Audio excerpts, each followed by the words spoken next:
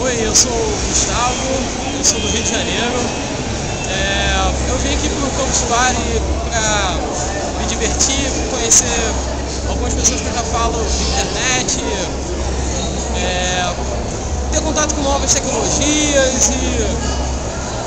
aproveitar um pouco a, banda larga, me divertir com essas barracas, essa confusão toda que está tendo aqui, sair para beber um pouquinho na noite de São Paulo